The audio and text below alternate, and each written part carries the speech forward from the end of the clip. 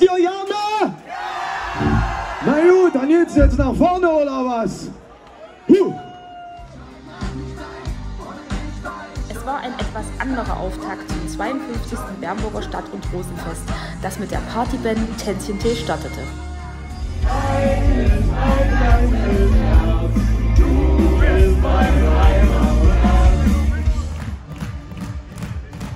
Aber auch die Kinder der Saalestadt zeigten, was sie schon können.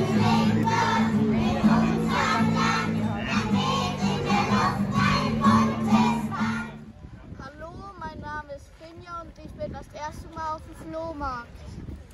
Nicht nur dort gab es viel zu entdecken, sondern auch gleich nebenan auf dem Rummel.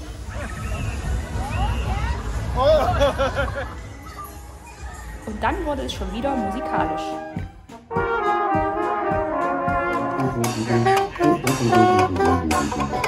Nach dem Wiedersehen mit der Bernburger Dance Collection warteten schon Harpo und Fancy auf die Festbesucher.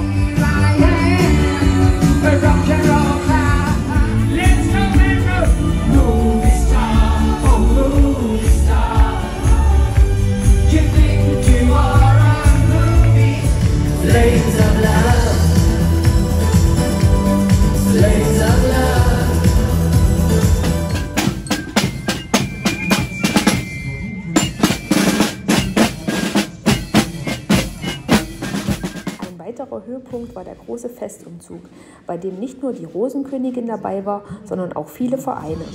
Und Bernburgs beliebter tanzender Putzbär. Und so anders wie das Fest begann, ging es auch zu Ende. Denn das Feuerwerk war diesmal schon etwas eher zu erleben, aber deshalb nicht weniger feurig.